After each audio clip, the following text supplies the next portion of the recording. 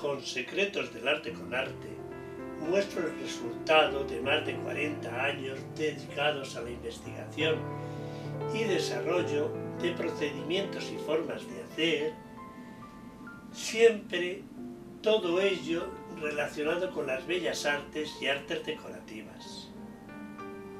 Espero que sea de su interés.